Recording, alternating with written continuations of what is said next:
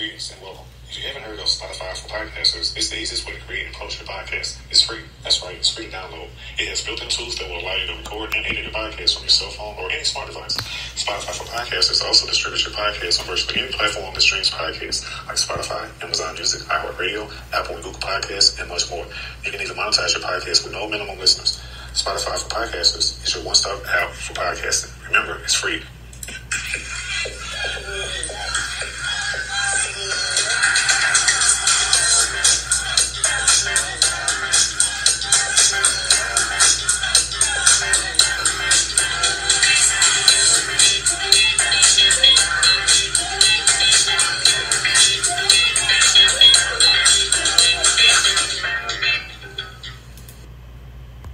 Welcome to the Trigger Warning Talk podcast, where we have uncensored conversations, we exchange information, and we provide a ton of resources for the listeners and the viewers. We are produced by Penton Pending Consulting Solutions LLC, which is my company. We are sponsored by Spotify for podcasters. If you want to watch these episodes, you can do it in two places. Spotify, and you don't even have to buy it. You can use the free version or our YouTube channel, which is again the company name, Penton Pending Consulting Solutions LLC. We are going to have a great finale to our part three with our sister, Simone Nofel, who is an applied epigeneticist. She's an author, and she's just a great human and a great humanitarian. We're going to be talking about in part three the modalities for ancestral and generational trauma. Now, part one was about Simone's story, dealing with ancestral and generational trauma, and part two, we did a tutorial on everything about ancestral and generational trauma. This last one, as we wrap this part up, is talking about what are some resolutions or modalities that one can tap into they are dealing with ancestral and or generational trauma. I want to give you just a brief overview of Simone again. She's an applied epigeneticist, she's an author. If you're not watching this podcast, you're going to be missing some of the stuff that I got on the screen here. I got her link tree. She has one-on-one empowerment sessions.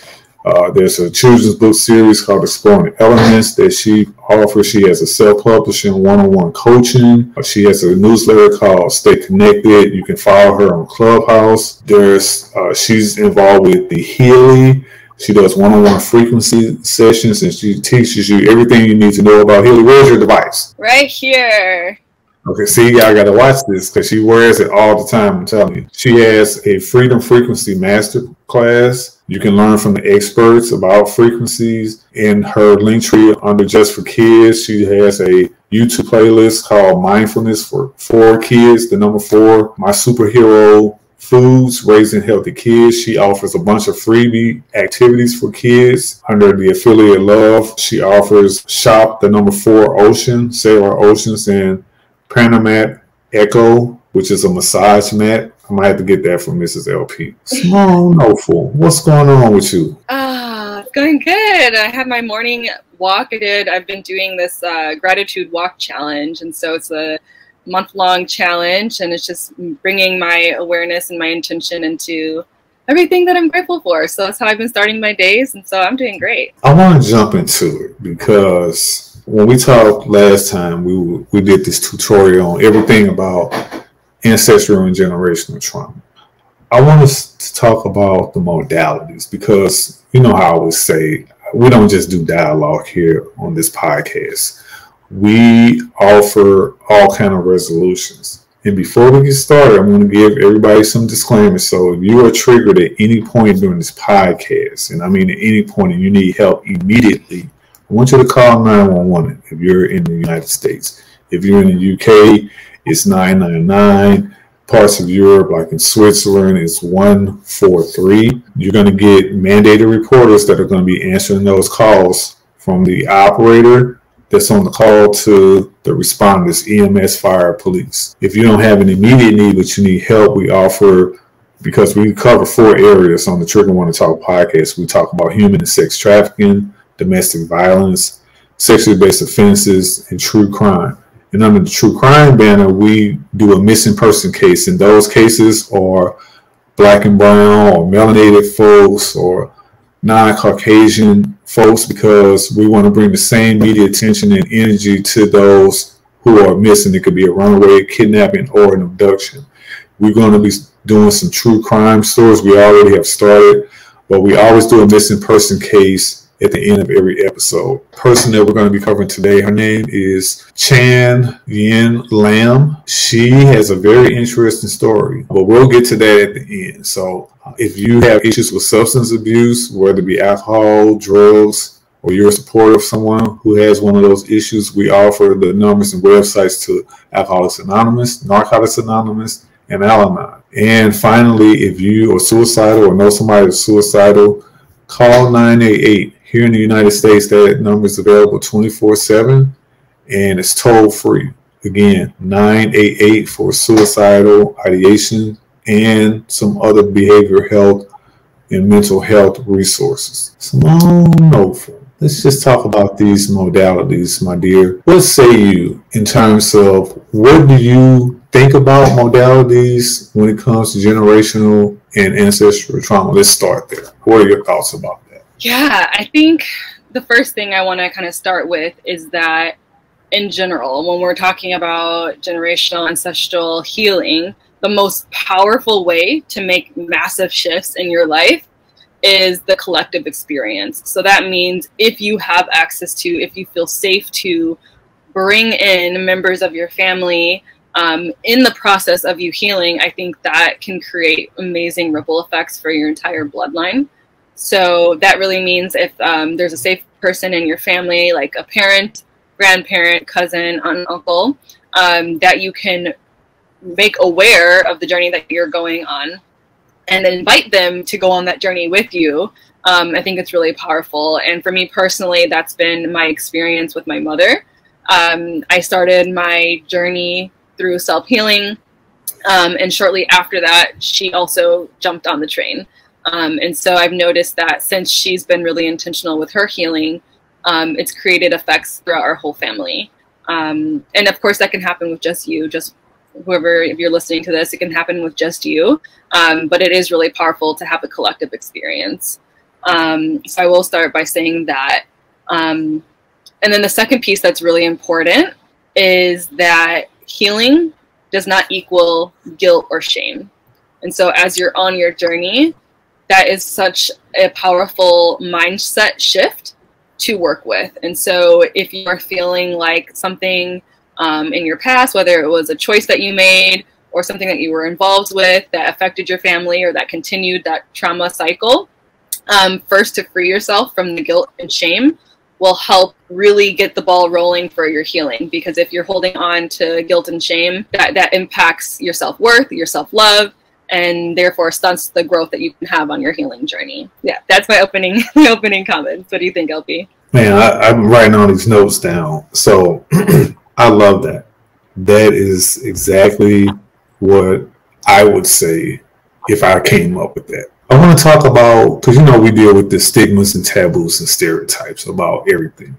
I want you to talk about some of the stigmas and taboos and stereotypes regarding resolutions to help people deal with generational and ancestral traumas. What are some of the reasons that people are resistant to these modalities or these resolutions when it comes to specifically generational and ancestral trauma? I feel like this is such a deep, deep question, especially when we're talking about melanated people. Um, I think in our communities, the stigma just lies in mental health in general.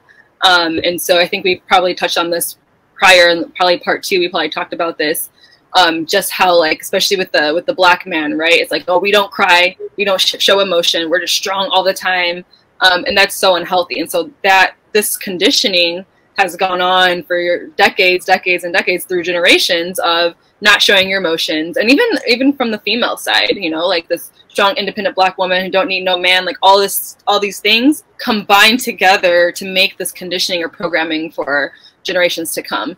And so that stigma is really deep. And so when we start talking about um, the hesitations or the blockages that people have from doing this work, it's because it's really hard to talk to our family members about this who might not even subscribe to the idea that we need to do work in our mental health. And so if you're on this journey alone and you're trying to involve your parents or your cousins or whatever, and they're thinking that mental health is hocus pocus and, you know, it's just about weakness or all that, then it's really hard to make any improvements. Um, and so I think, you know, with, with those blockages and with those resistances, we have to, again, evaluate our belief systems. And I think that's a huge modality in itself for this type of work is just to evaluate and reassess your belief systems continually throughout your lifetime. I'm smiling because I thought about something you just said about, oh, you know, one of the things that we hear a lot is you said, you know, I don't need no black man, you know, because I'm independent and all that. And I thought about the song uh, made by Destiny's Child, you know, that independent song and then Jay Z has a song where he has kind of a response to it. And one, I not forget the title of the song, but one of the bars he says,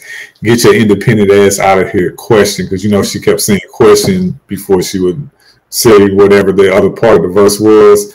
So I thought it was funny that they kind of went at each other, and I think it was more playful than anything because you know now they're married, you know, well not now, but they're married and all this stuff. So I thought it was hilarious when I when I heard that. But I want you to expound on that part of it because that's a mm-hmm. huge thing that we see a lot in the media or on social media. And I know a lot of black women who are independent because they say, well, you know what, black men either they are in jail, they are broke, you know, they are in the LGBTQ community. They are not being faithful. They are women beaters. They don't take care of their kids. got too many kids. They got too many baby mamas. They got too much baby mama drama.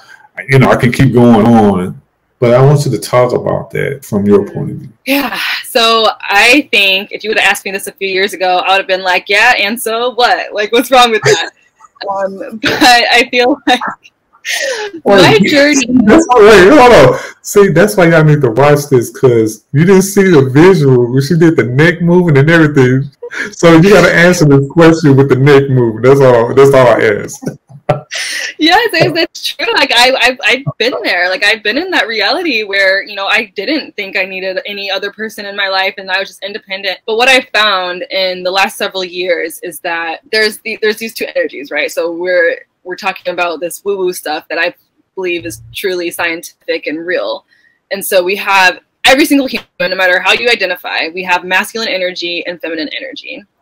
And it's all about balance. And for my majority of my life, I held a lot of masculine energy. And that's where that independence piece comes from. It's like that masculine energy where I can do everything. You know, I can go in the attic and get my tools and do whatever. I don't need a man to do it. So when I started implementing feminine energetic practices and started balancing it out for myself what i found is that yes i can do all the things that you know i could ask another dude to do.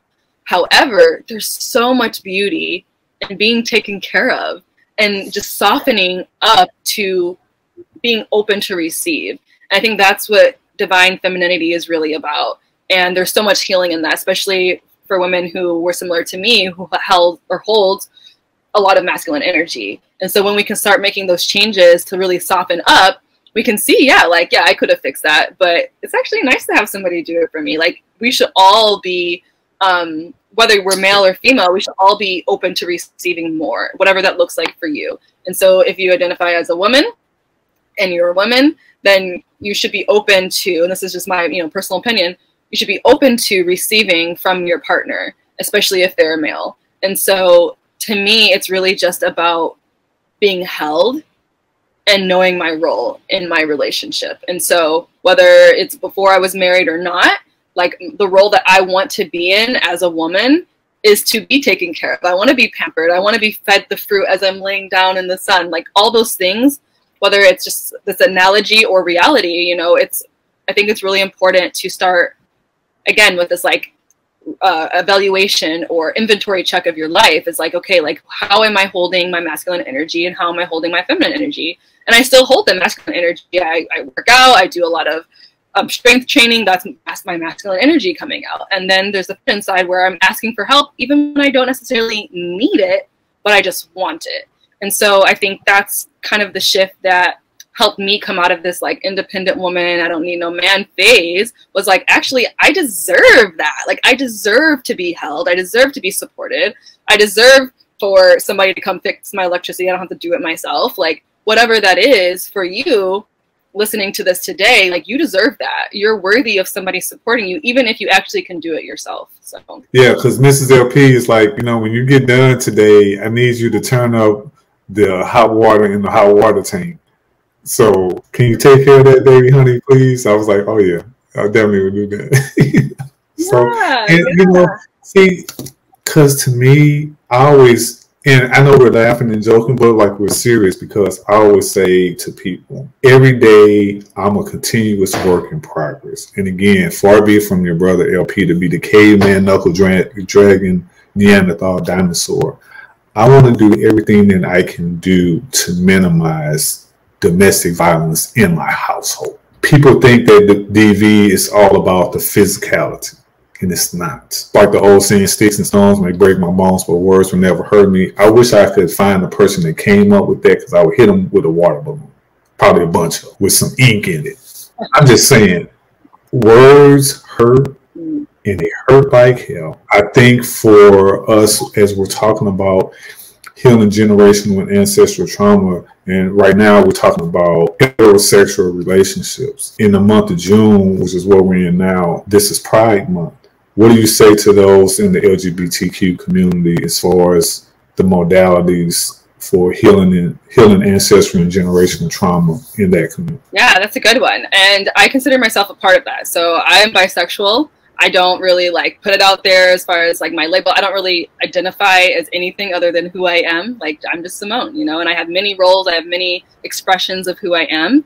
Um, and in that space, in the context of the LGBTQ community, um, I think it's almost the same. Like we're all human, right? And there's just some complications to that when we're talking about sexuality. But when we're talking about ancestral and generational trauma, we're all the same. Like we're all the same. We all have, we all come from ancestors. We all come from people who come from before us who pass down baggage that we carry around that's not ours. And so it's each and every one of our responsibilities to see that, to uncover that for ourselves, and then move past it. And that's what we're talking about today, right? Those modalities. And so the same modalities for a straight person is it's going to be the same modalities for somebody who identifies as gay or lesbian, bisexual, whatever. A really important piece, I think, to understand too, because like you said, we're in Pride Month and there's, I find value in all these months, like Black History Month, uh, Latino Month, all these, I, I find value in it in the celebration part, but there's also like an underlying divisiveness in that. And so we have to, it's like a very, very fine line between the celebratory and the, in the division. Um, and so in that is why I wanted to, you know, really emphasize that it's the healing is the same for all of us. It doesn't matter what our skin color is. It doesn't matter how we identify, what we do in the bedroom, whatever it is. Like we all are human beings, and we all are energetic beings, spiritual beings who are connected to this this journey of being human.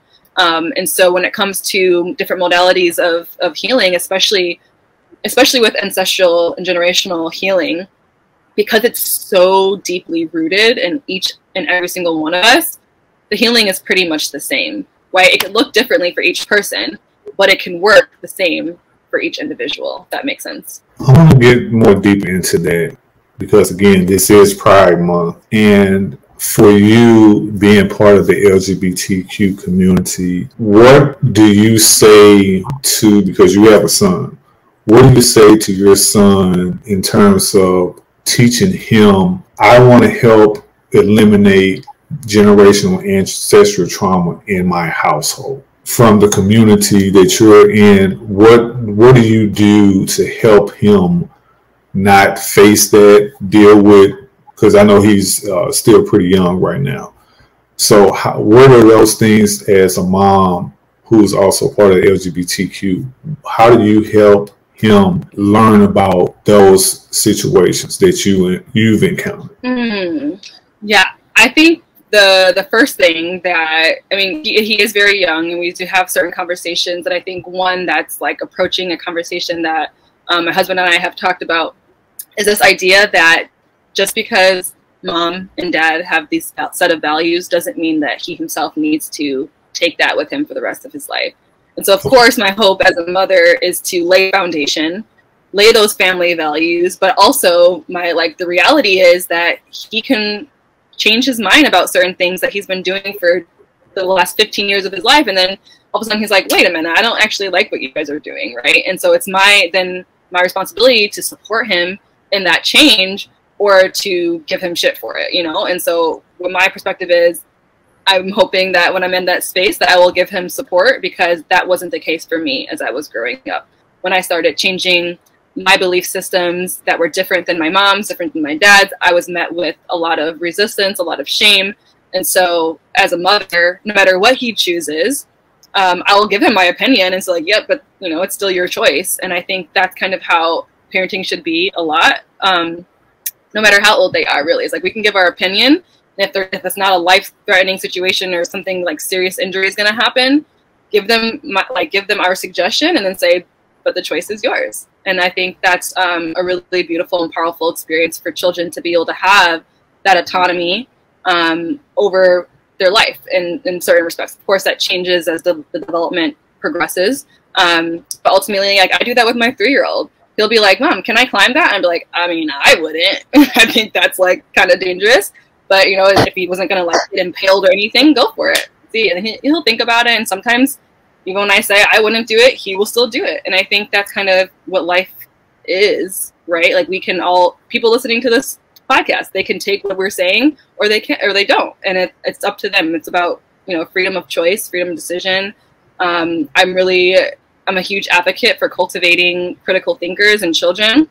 And so we can, again, we can give them information, we can give them facts, we can give them research, but it's ultimately their decision on they take that, how they um, integrate that into their lives or not. As an applied epigeneticist, how does science in the in the study of epigenetics that you have, because you're an applied behavior analyst, how do you approach situations from a scientific perspective in regards to like transgenders or hate crimes or you know even and you don't have to talk about politics but i'm just saying like for those that feel alienated from the church quote unquote air quotes because of stuff that they see like in christianity with the old testament and, and different things like that how do you as a applied epigeneticist, view those particulars? Mm. Yeah, I feel like there was like two questions in one. So I'm going to start with just like the first part on like how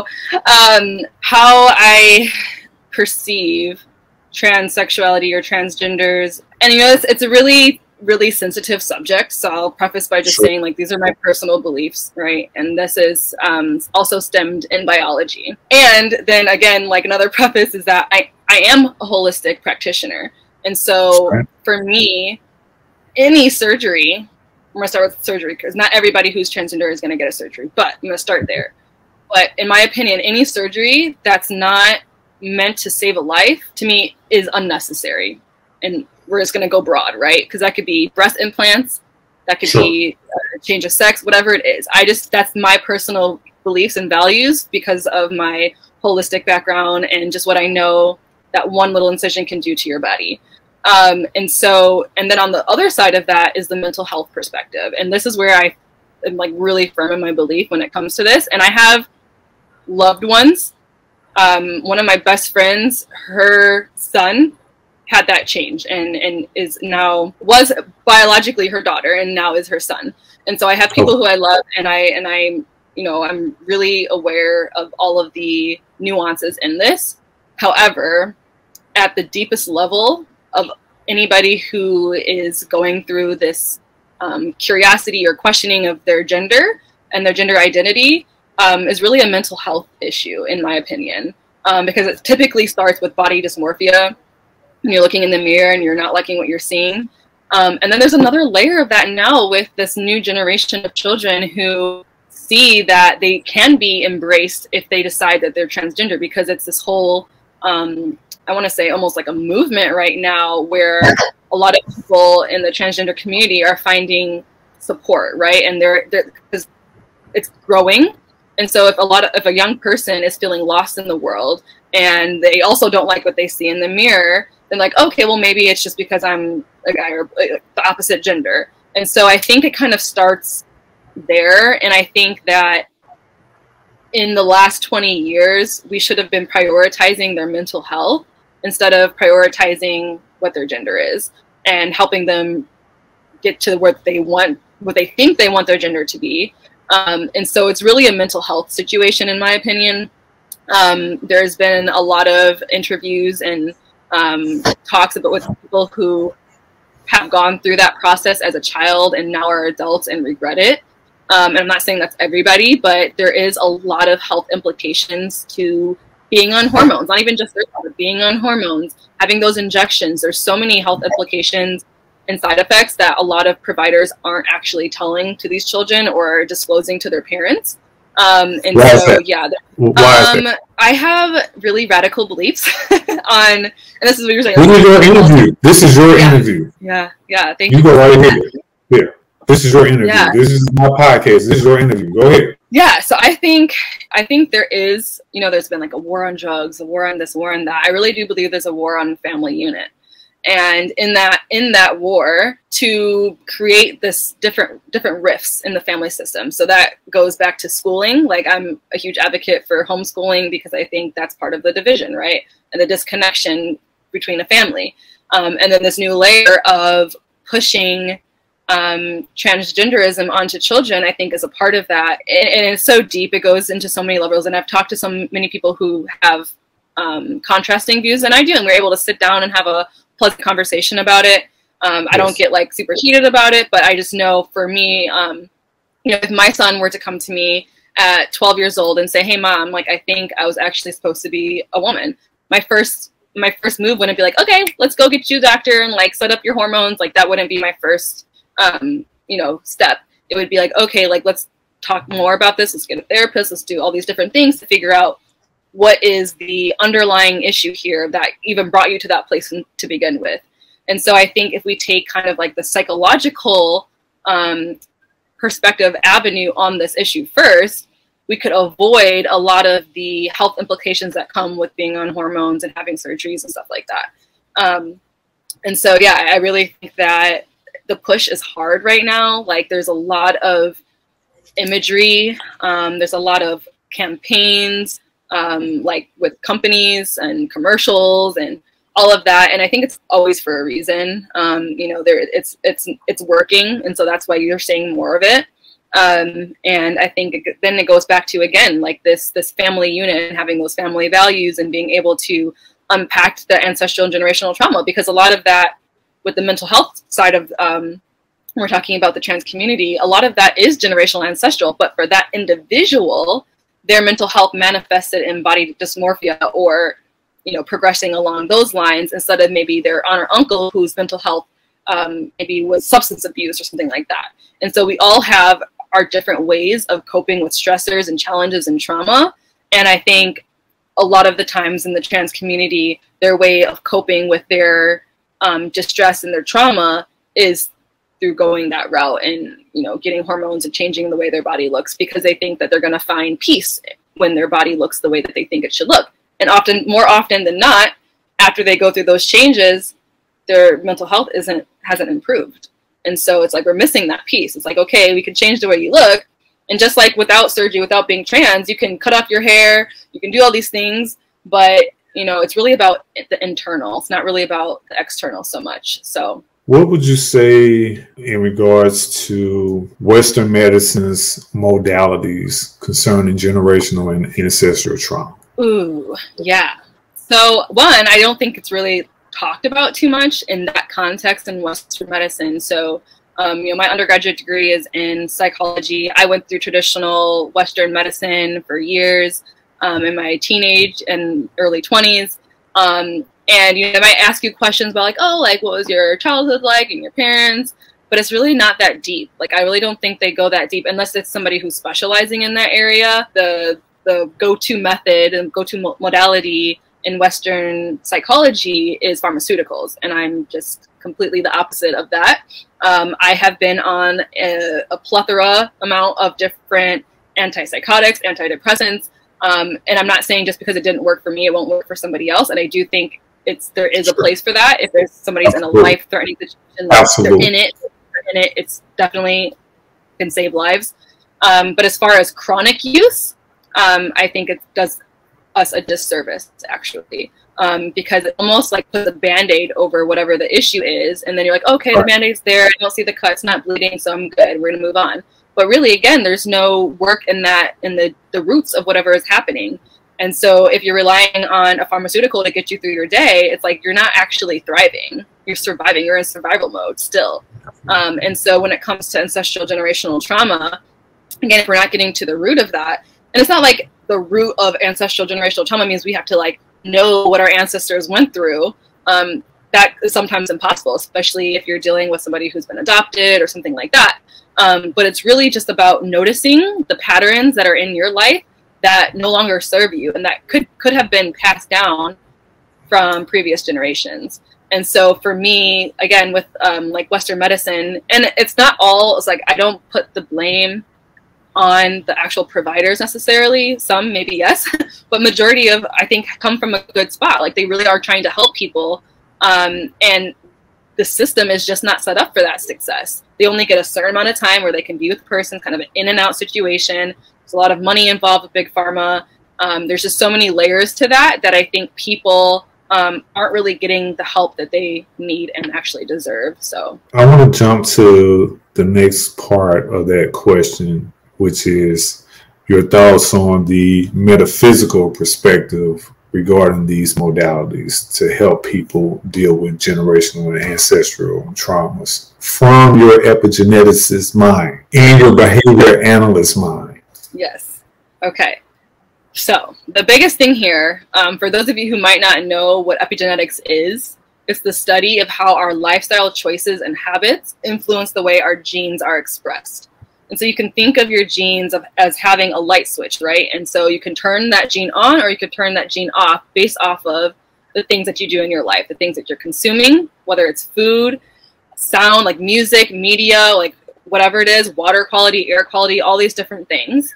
Um, and so in that context, when there is when when ancestral and generational trauma is present, meaning that there's something that one of your parents, grandparents, somebody in your ancestral line has gone through that you are also going through. So it's been passed down. And with that, it's actually getting passed down in your DNA. And so research has shown that these traumas actually create shifts in your DNA. And so then that will get passed down when gestation happens, pregnancy, and so on. And so what we can do actually is to create a certain set of habits in your life to turn those light switches off that are causing alcoholism, substance abuse, suicide ideation, all these different things. And so it's really um, in that line of thinking. And I think ultimately it's really important. It's really, like, really, really important to take ownership and radical self responsibility for what we're doing, for, for what we're really doing in our life. Um, so, you know, when it comes to the different modalities that are in the metaphysical, I think the first part, to wrap your mind around is that we're not these physical bodies. Like we're so much more than this. We are actually energetic beings, spiritual beings who are who come here in this physical form, right? But if you look at quantum physics and you and you understand the breakdown of our muscles, our tissues, our cells, and, go, and going down like this to the subatomical particles, we're actually mostly energy and what we're seeing what we're feeling is only like 0.1% of who we are as humans and so that's why i think spiritual practices and medical school practices actually create more potent changes for us and improvements in our health it's because of that because we are mostly energetic as somebody saying they're like whoa like that was like way too much for me um I think another visual that I can give you is like if you look at an atom, right? We're all familiar with atom. Atom makes up the cells. We look at an atom under a microscope what we see are three subatomical particles, the protons, neutrons, and electrons, bouncing around, right? You'll see that. The majority of what you're seeing is actually nothing, right? It's just space, energy, ether. And so if 99.99% of what you're seeing when you're looking at an atom under a microscope is just energy space, that means that 99.9999% of who we are is also energy. And so that's why I think it's so beautiful when people can tap into things like meditation, breath work, frequencies, whether it's sound bowls, whether it's this Healy technology, whatever it is, to support your energy being, your spiritual being, because that's going to create a ripple effect into your mental, your intellectual, your emotional, and to your physical. It's all connected. I want to move over a little bit still under the metaphysical modalities because you talk about some of those things. What other metaphysical modalities do you recommend or believe are very helpful for people dealing with ancestral generational trauma? Yes, so I'll start with the one that I personally started with. So when I started my healing journey, especially when it was with ancestral generational, mostly generational coming from like my father, um, a lot of the work that I was doing was in silence and was in meditation. And meditation isn't just one thing where you're seeing somebody sit with the best posture and that's not the only way you can meditate. And that doesn't work for everybody. Um, you know and so there's like you can even search in your search engine um, top 10 ways to meditate and you'll see 10 very different ways. People meditate and dance right? Like there's so many different things that you can do to meditate. And for me that was how i really started my journey because i was able to get clear. I was out in nature so nature healing is um, one of my fortes and something that I advocate for for everybody. But being in silence with your thoughts and getting to know yourself improves your self awareness. And so when you improve your self awareness, then you can really get clear on who I am, who am I as a person, and what do I do that's actually not for me or not the best for me, I should say. Um, and so in meditation, these things can be um, revealed to you, and then you can go further into that, you know, realization. So if you're sitting in meditation and you're like, oh, like I've been coping using these um, unhealthy coping mechanisms, and you're in meditation, meditation, right? And you're like, oh, wow, like this is actually what I can do. You know, I remember when I was a kid and I used to love, um, you know, skipping rocks. Well, maybe every time I get anxious, I'll just go find, you know, my river and skip some rocks, right? Like that could even be a meditation in itself. And so there's just so many different ways that we can connect to our energy being, and meditation is just one of them. Um, so that was like the first thing that I started with, and I can kind of jump timelines into the most recent thing that I've started working with, which is frequency technology. And when I started learning about frequency technology, I realized that I had been working with frequencies even before the tech came into my life. Because music, sound, that's frequency. Like even if you're watching this podcast right now, you're listening to our voices, that's frequency. And so it's really beautiful to be able to understand that about frequency so you're not like afraid of it or have this like you know stigma attached to it. Um, and so when i realized that i had been actually working with frequencies pretty much my whole life and that frequencies can either be beneficial or detrimental. And so there was many many times where i had been in like deep depressions and then i'll turn on like billie eilish and i'm just like just like so angry and sad and just like ah like ah you know? And that was lowering my my vibrations lowering my frequency and now I don't do that, right? I haven't I haven't listened to her music in so long because it's so low vibrational for me and takes me to that place where I, rem- you know, that was associated with when I was in my deepest, darkest depressions. And so you can use frequencies for music and turn on something that's more uplifting. Um, whether for you, if you're religious, could be gospel music. If you're like me, spiritual, could be something that's just like you know indie or whatever it is. It could be anything that just makes you feel great and that has good lyrics or um, anything like that. And then another frequency work that I have done is with sound bowls.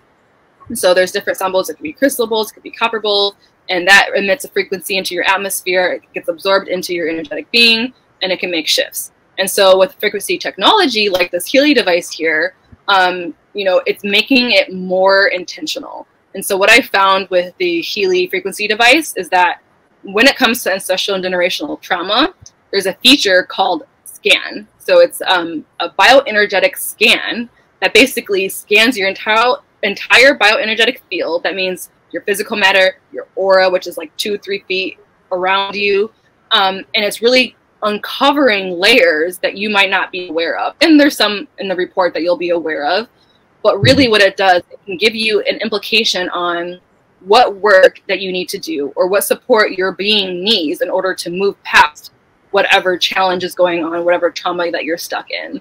And so, for example, when I first got my Healy, I'm I'm a very like I'm a very passionate person. So when I when I get into something, I'm like full on.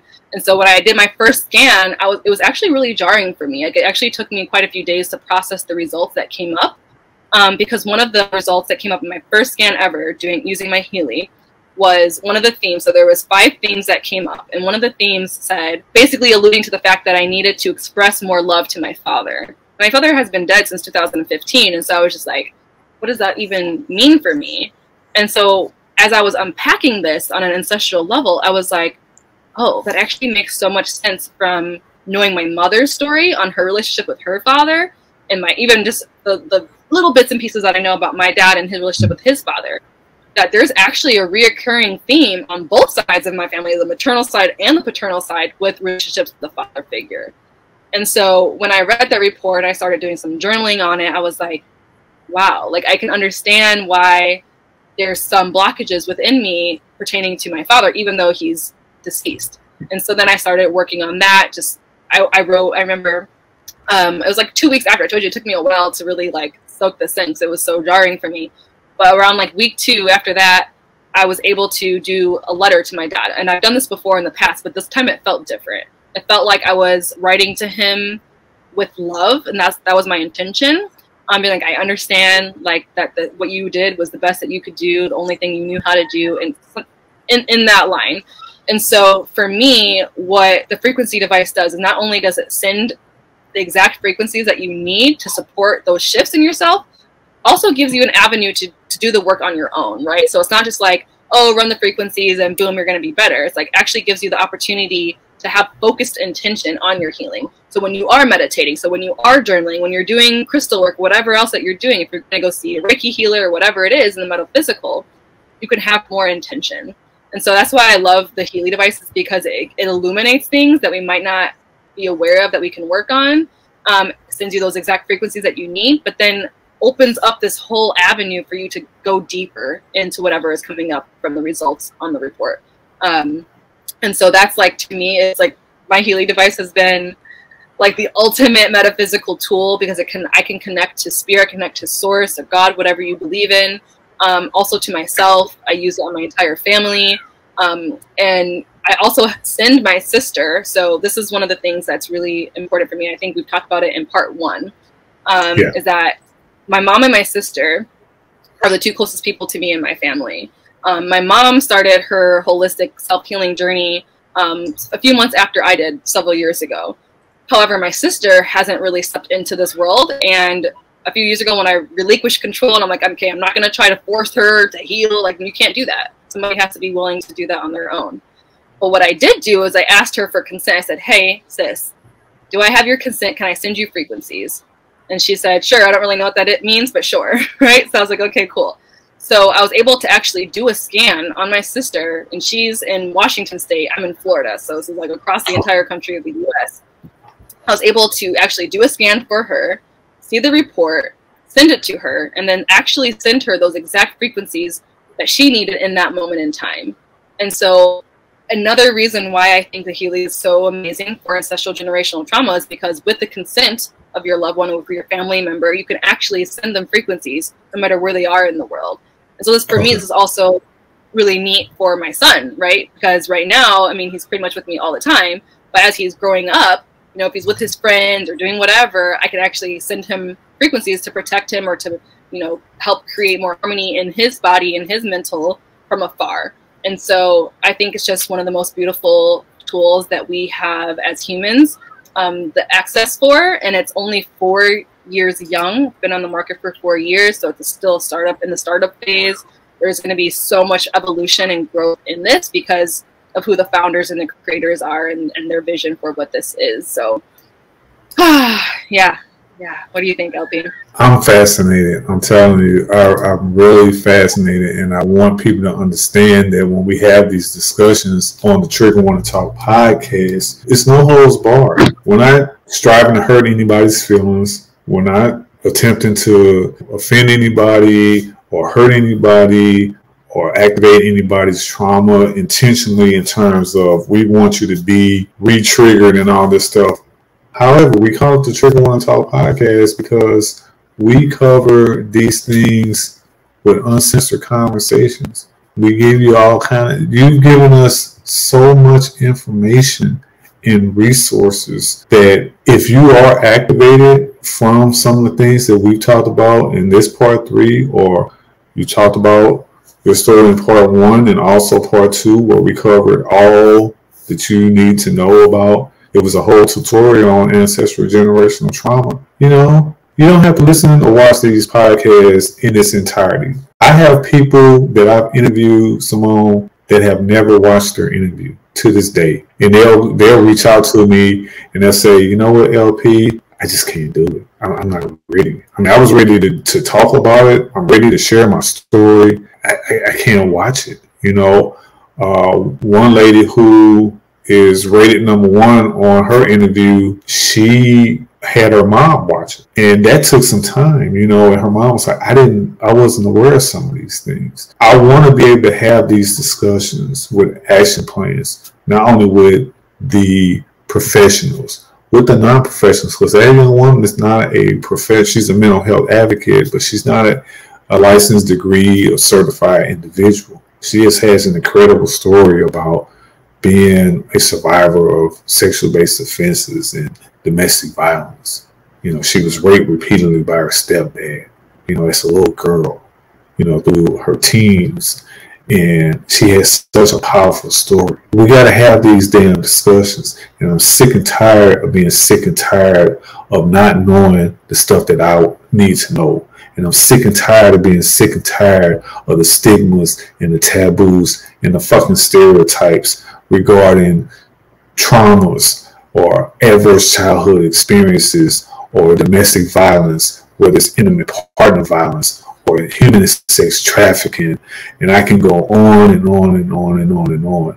There's too much damn information out here. And there are too many people like yourself, Simone, who are trained professionals who you ain't telling us what you heard. You telling us what you know. It makes a difference. And I, I don't make no apologies about it. I don't. And I'm not. I'm not.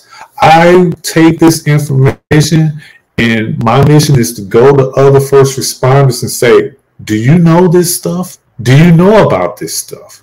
Because as a first responder, I did EMS and fire we got probably 40% of our 911 calls were mental health related shit. It wasn't just fire suppression and bumps and bruises and gunshots and heart attacks and, and strokes and car accidents and all of this stuff. You talked about medications. We're the real street pharmacists as a paramedic. I talked I talked to Dr. Maisha recently and, and, I interviewed her. I said, Dr. Maisha, do you know what the technical term for a paramedic is? She was like, no, because she's a medical doctor. The technical term for a paramedic is physician surrogate. Physician surrogate. She was like, wow, I never knew that. A medical doctor. My license is un, and everybody that's an EMT, basic all the way to a paramedic like me, we work directly under a medical doctor's license.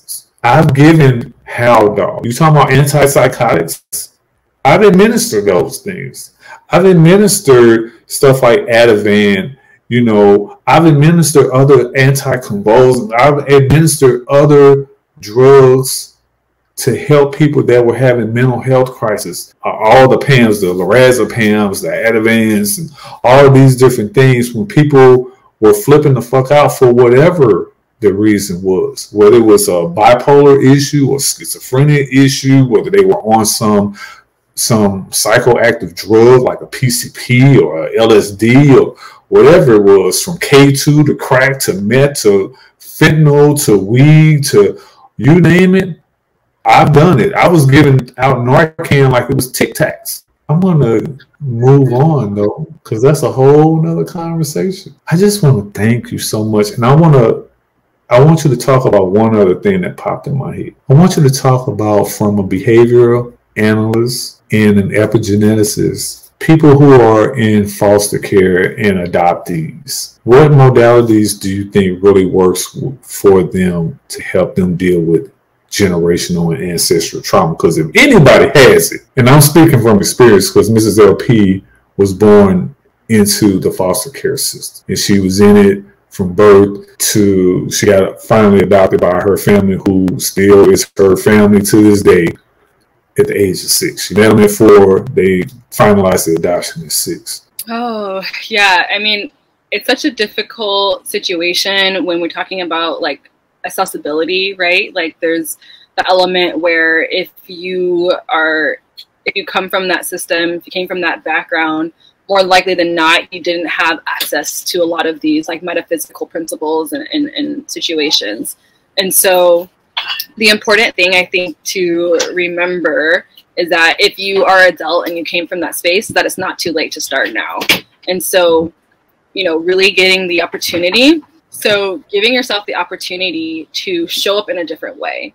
So I was actually on Clubhouse um, not too long ago, and somebody was sharing this how they they speak to their daughter who had been sexually abused and they always talk to their daughter in this way of like that was a chapter of your story. That is not your entire story. And so if you're listening to this and you are um, you know you came from the foster care system or you were adopted um, it's up to you to change the trajectory of your story. And so again with this piece of radical responsibility that i'm so passionate about is you're listening to this and now you might have accessibility that you didn't have before. So now is time for you to start approaching these different things and get on youtube and listen to a meditation. And you know it could be like if you're dealing with something like um, su- substance abuse you can even try to search that and like see what comes up meditation for substance abuse. And it could be just somebody a guided meditation where somebody is telling you like you no longer depend on this you no longer need this whatever it is and you're just focusing your attention on those words um, and so the accessibility piece is really important. And then, of course, ed- education. So that kind of goes hand in hand.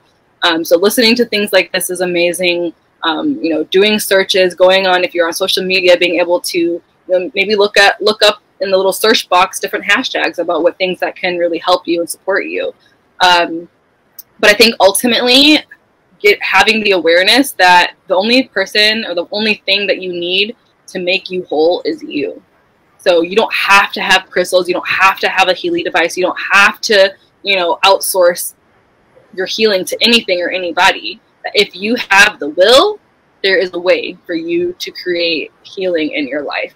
Um, and, I, and I really truly believe that most of all all of healing, I'll even go as far as say all of healing starts right here. And you can't see me, I'm pointing to my mind, my brain. It starts with your mindset. It's just so important because once and I think another layer I'm gonna I'm gonna rewind a little bit and say another layer to this, and not just for people who come from the foster care system or who have been adopted, but for all of us, one of the most important things that we can realize is that the progression that we make with healing or not healing has everything to do with our self love. So, how we honor ourselves and how we think of ourselves is so important when it comes to our healing. Because if we think we're not worthy of living a healthy optimal vitality like all of these things if we don't think we're worthy of that we're not going to ever get there. And so it starts with being having that self-love and knowing that you're worthy of optimal health and happiness for your life. And that's anybody no matter what background you come from no matter how you identify whatever it is for you to have optimal health and happiness, you have to know that you deserve it. Final thoughts. My question to you would be some people think that metaphysical modalities are foo science. They think it's snake oil salesman. They think, you know, you're on some, you know, otherworldly type of shit or, you know, you, as you know, final thoughts on modalities for healing in generational traumas. The mic is yours you. Yeah. So if you're listening to this and you think this is all woo woo foo foo bullshit, whatever it is that comes up to you and you're listening to this, um, my assumption would be that you're a really scientific person, right? So if you think that metaphysical is woo woo, typically it's because you're really about the material, the science. Okay, right? So let's then talk about peer reviewed research. Now, I have different perspectives on this in general, but if that's what you need, it's out there. Like there's actually peer-reviewed studies on meditation. There's actually peer-reviewed studies on mindfulness practices. Um, you know, and there's actually over 20 specific articles about frequency technology and healing. So if you're interested on that, you can also find that. And um, you know, it's it's just I, I've talked about this before in different spaces about a lot of people who question spirituality or woo woo stuff. Um, and it's really about the evolution that we have had in as humans. And now in modern society, especially in the Western world, we're all operating from our prefrontal cortex. So that's like that area right in between your eyebrows. That's and right. that prefrontal cortex in our brain is all about our executive functioning, it's about logic. And so if we are, the majority of us, I believe, are operating solely from that space. And what I would like to invite you as you're listening today is to start creating balance in your life and start thinking and acting and being from your heart and your intuition. And so if you're like, oh, intuition in itself is woo woo, we need to have a different talk about that. But um, you know, your intuition, your your inner knowing is like your sixth sense, right? So we, we get taught these five senses in school and as we're growing up, but there's actually more than five. And one of those is your intuition. And so it's about discernment, right? And so if you're like, oh, like I need to have proof, proof, proof, and you're always about this prefrontal cortex operation, you lose a lot along the way from your heart, what your heart is telling you, what your intuition is telling you. And so if you're like, oh, like I've always been interested in meditation, but then every time I think about it, emphasis on the think, I'm like, oh no, it doesn't work. So instead, the opportunity here is to just take a leap of faith and try it. You can try it for two weeks. I always give things two weeks, you know, as a trial period. Um, and if it doesn't work for you, then move on. And if it does, then there you go. You have a new healing modality for yourself that could really create change in your life. And so, again, it's I, am another another thing that I'm an advocate for is self experimentation. So if somebody tells me, "Hey, Simone, if you eat your toenails, you know, you can grow your your hair will grow 10, 10 more inches," and I'm like, "Oh yeah, I want my hair to grow." And I can either take their word for it or I could try it myself. Maybe for that I might not do it, but you know, it's just all about experimentation and um, you know, letting yourself go there. So if it's not to hurt you and the only thing it can do is help you and there's no side effects. So most of these metaphysical practices, there's absolutely no side effects as in contrast to a lot of things in the Western medicine um, space. And so if you're doing crystal healing, there's no harmful side effects. How does that hurt you? To... Yeah, how does that hurt you? it's not. It's not. And you go to a Reiki master, you do meditation none of it's going to harm you. It might be like scary as fuck and it might be really raw and tender to go to those places for yourself, but you know, that's that's when change happens when you go outside your comfort zone. So I think you should just give it a try. Whatever it is that's calling you in the metaphys- metaphysical world, just give it a try. And I say, give it a try for two weeks. Two weeks, you know. We talk about metaphysics all the time on this podcast. We started with that. We're going to continue doing that. I don't make any apologies about bringing metaphysicians onto this podcast to share that information because, again, you might look at it like some snake oil salesman. I was looking at uh, some old medicinal memes where, like, they would show uh, these concoctions, these apothecary individuals, which was the precursor to what we now know as pharmacists. And some of the co- concoctions that they would come up with, oh my God, it was insane. Some of the stuff that these, for real, snake oil salesmen, but some of these Western medical practitioners would come up with for healing different things, different ailments, and different things. Medicine is a practice. We practice medicine it is not an exact science. You know, there's an exact science component, there's some mathematics involved. But even that component of it, because when you're dealing with doses and all that stuff or whatever, and you know, if I got to administer fentanyl to somebody who fractured their ankle, that's a weight-based drug, and we use uh, we use kilograms. We don't use pounds and different things like that. So I got to convert. You know, if you weigh you know, 200 pounds, I got to divide 200 divide by 2.2. And it's like, okay, so I'm going to give you 90 mic- micrograms of this fentanyl. Or, you know, I might say, okay, well, you know, I'll go ahead and give you 100 because, so it's like it, you have to play around with the numbers based on the science. We're just saying, folks, that metaphysical modalities for anything, especially generational and ancestral trauma, give it a shot. You're not putting nothing in your body. You're not taking a pill. You know, you're not getting an injection, not an IM injection, not an IV injection. There's no inhaling, no intranasal injections, you know, uh, atomization going on. I can go on and on and on. No buccal, which is in the cheek. You know, you don't have to do a sublingual under the tongue. These modalities require none of that. None of it. And we're not saying that Western medications don't have its place. You talked about that earlier. We're just saying two weeks. It don't work, go yeah. something else. And you can incorporate these. Uh, you don't have to just pick one. There are people that do Reiki and meditation, and they do. I've done some of this stuff on the podcast. I've done a tapping session, you know, the EFT. I've done NLP on the podcast. I interviewed a woman who uses crystals and tarot cards to help people. She's been doing that for over 30 years. People love that episode because the first 15 minutes, all we did was talk about the misconceptions when it comes to witches and warlocks and all this stuff. She's like, look, I'm a Roman Catholic. I, I carry my rosary to church every time I get a chance to. I don't do the demonology. She broke down the pentagram versus the right side up. You know, she talked about all five points you know, when this right side up represents earth, wind, fire, water, and spirit. You know, I mean, she was, she broke it down. The first 15 minutes, that's all we talk about, was getting rid of all of those stigmas and all this stuff. And then we jumped into her story and how she healed, helps people heal and overcome their ACEs or their traumas. Simone Oldham, I'm thinking we might have to do a part four. Let's do it. You know, I'm up for it because there's so much that I want to I want to continue talking about when it comes to ancestral and generational trauma. I didn't even get into the money.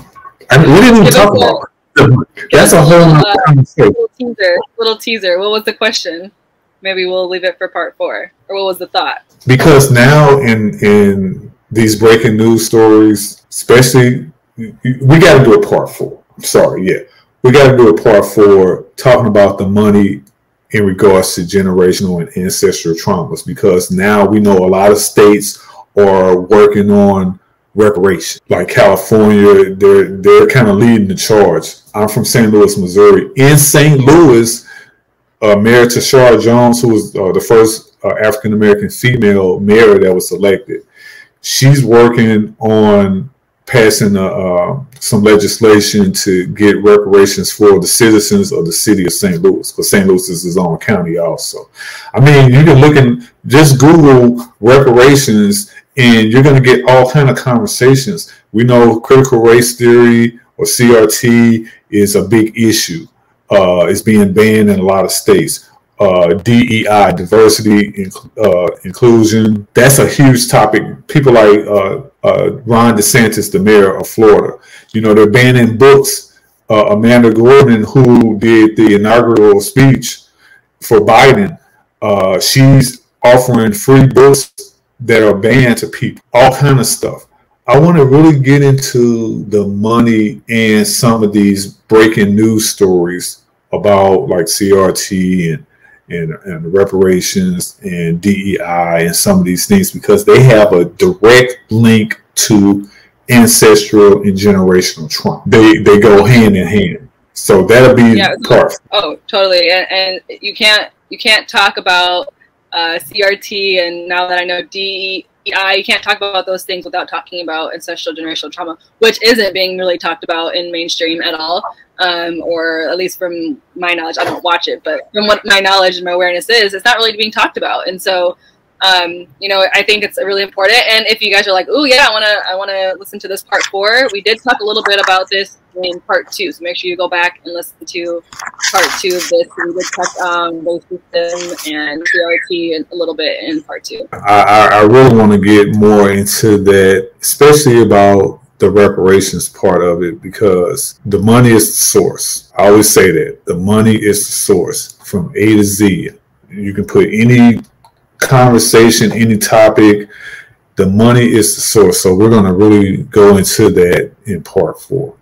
But that's it. I just wanted to have you on to give us your educated opinion bring us some facts and figures. Tell us what you think. I'm, I'm thankful that you have the candor and the compassion and the courage to talk about you, especially from a personal perspective. You know, salute to you, not only for doing that, I thank you for being open about your LGBTQ identity. This is Pride Month. I'm going to have to put this interview out this month. I'm just going to have to do it. You know, uh, you know, we're this month, except for um, a week ago, we uh, did our part three with Leah Abraham on our stigma, taboos, and stereotypes. But today, um, people can uh, start looking at some of our interviews for this month, and we're going to be highlighting people in the LGBTQ community. Uh, Ramel Bentley is the first person that we uh, are talking to, and his interview uh, it was scheduled to come out yesterday, June uh, 8th, but we had some technical difficulties, so uh, I'm just wrapping it up right now. Uh, so it'll be out either today or tomorrow. But um, we're going to have a number of people come on to talk about some of these issues that affect the LGBTQ community that are triggering. And if you want to listen to these podcasts, we're streaming on all major platforms. If you want to watch, you can go on Spotify or our YouTube channel, which is Penton Pending Consulting Solutions LLC. That being said, I'm gonna let you go get back to nature, your walks, your runs, you're dancing. Go and do a little dance for because you always be dancing, girl. You be throwing down on your IG, you know, and uh, you just you, you, just have fun because you only got one life. What is it? And that's another modality. Yeah. Another modality. Fun, play. That's a healing in itself. Play. So you know, you you. So since I'm I'm closing out, I'm going to bring up your social media links for people that want to watch. They can see it and they also, I'll have your links as always in the show notes for this episode. We have her Hearty and Free IG page up, but the majority of the stuff that she offers is on her Linktree. And so, again, I'll provide the Linktree link and her Hearty and Free link. Also, um, she has a nice amount of freebies that are available on this Linktree. So you definitely want to check that out. Simone Nofel, you know, we got mad love for you here on the podcast. And I'm going to talk to Mrs. LP about this healing device also and that mat. So that's that's my assignment for this weekend. You and I are going to talk more about getting ready for this part four at a later time. But again, peace and blessings be upon you and your family. And thank you for educating me and this audience. Again, it's my podcast, but it's always the guest interview and don't ever feel like you got to censor yourself. All I ask is no matter how or what you want to talk about, no bigotry and be honest. If any guest will do that, they can come on and talk about anything that we cover. Well, thank you so much, LP, for having me. As always, it's always such a pleasure. And whew, I can't wait to talk about uh, part four. It's going to be a good one. Oh, whew yeah, it's fire. There's gonna be some fire going on. I, you know what? I need to get you and Dr. Maisha together on it. We need to do a series with the three of us. I'm, I'm working on it. That yeah. would be delightful. Yes. Yeah. Because she and I are doing a three parter too, but that's we'll, we'll talk later. I'm gonna let you go. Get back to your day. Peace and blessing to you. You can go ahead and leave the studio, uh, but just don't close out because it'll finish uploading your episode. All right, sounds great. Peace. Take care, LP. Take care. All right, folks, that's Simone Nofel. We're going to switch over to the last part of the show, which is our missing persons component. Mrs. LP gave me a great, great story uh, about a young Asian Asian woman. Uh, again, her name is Chan Yin Lam. And let me bring her information up on the screen here. I want to play the news story also so you can watch it. You don't have to listen to me. Let's take a look. It has been a year since 15 year old Chan Yin Lam was found dead in Hong Kong. However, conspiracy theories refuse to die down, with the police and protesters now presenting and coming up with very different accounts of the teenagers' deaths. Let's first tell you about the case which has exposed the mistrust between Hong Kong's youth and the authorities. 15 year old Chan was caught in a crossfire between the police and protesters in August of 2019. The teenager then released a video asking why she was being targeted. Chan further said that she was just out shopping. However, things took a different turn when Chan's naked body was found in the sea two days after she went missing in September 2019. They pulled it to be a case of suicide. However, protesters said that the 15 year old was raped and murdered by the cops for participating in the anti government demonstrations.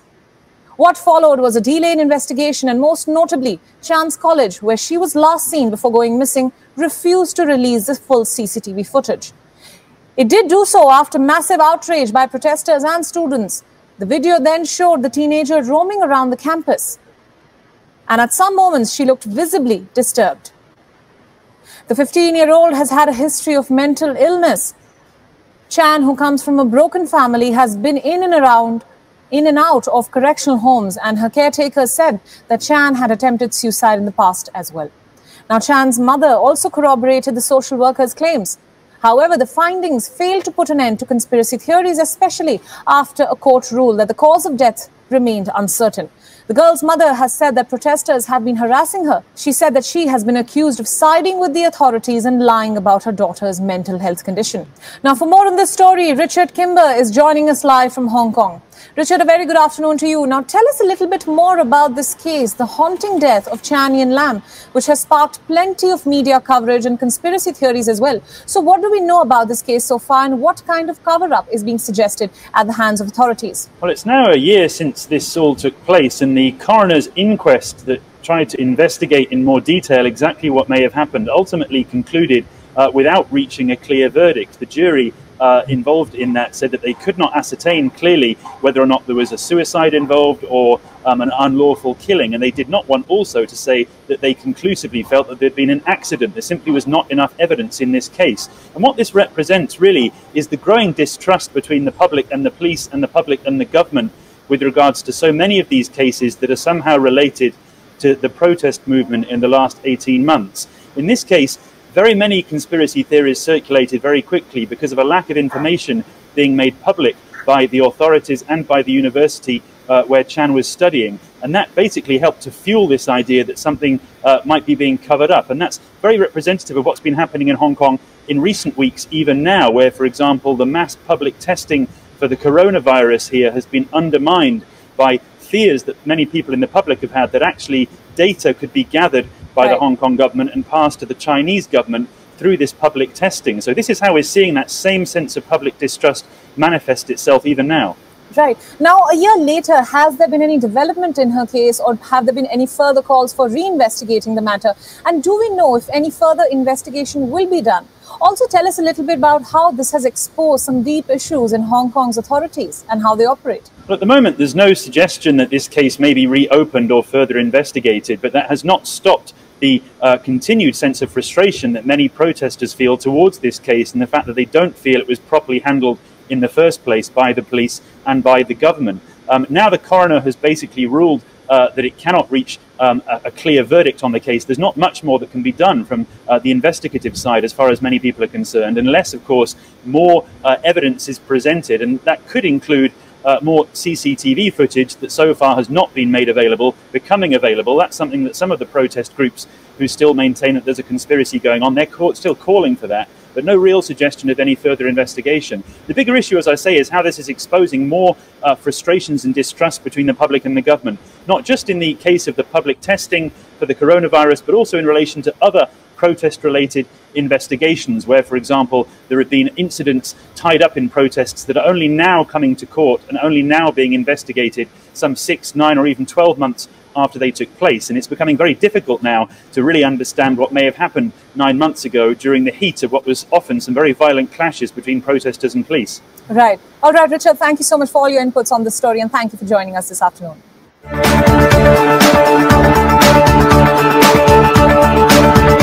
That was the story of former missing, now deceased Chan Yin Lam We cover these stories under the True Crime banner, or moniker, I should say, and we will continue to do true crime stories with missing persons components also, either exclusively or uh, in part, because 99% of the cases that we cover under true crime with missing persons are melanated folks, non-Caucasian folks also, and it can be a runaway kidnapping or an abduction if they died under mysterious circumstances.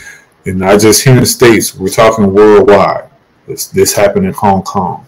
So we don't have a problem covering that because we want to give the same needed attention and energy to those stories also. For Simone Nofel, I want to thank you all for joining us on all these platforms, all the major platforms we're on. So you can watch them on Spotify and our YouTube channel, Penton Pending Consulting Solutions LLC. Please like, subscribe, and write a review. Live in awareness, never live in fear. We want you to take a CPR first aid, stop the bleed class because it's not a matter of if, but when and where a violent critical incident may happen, will happen, does happen and this is even worldwide. And so to be helpful, because EMS and fire and police may not be able to help you immediately in those situations, especially if there's an active threat. Police are going to make sure that they neutralize that threat and then they'll come in and provide medical care if needed. You need to be trained to be an immediate responder. That's going to be somebody that has some medical training, like knowing how to use tourniquets, chest seals, learning how to do bleeding control, learning how to do CPR. If somebody's choking, if somebody has an injury, you know, those are things that are important. Somebody's in cardiac arrest, you need to know how to use an AED. We want you to be a bydoer instead of being a bystander. For the Trigger Warning Talk podcast, LP out.